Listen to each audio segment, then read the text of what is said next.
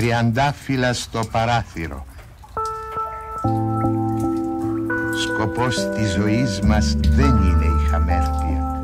Υπάρχουν απειράκις ωραιότερα πράγματα και από αυτήν την αγαλματώδη παρουσία του περασμένου έπους. Σκοπός της ζωής μας είναι η αγάπη. Σκοπός της ζωής μας είναι η ατελεύτητη μάζα μας.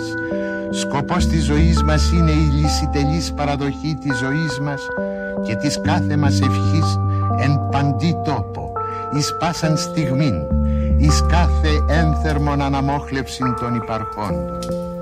Σκοπός της ζωής μας είναι το σεσημασμένον δέρας της υπάρξεώς μας. Thank you.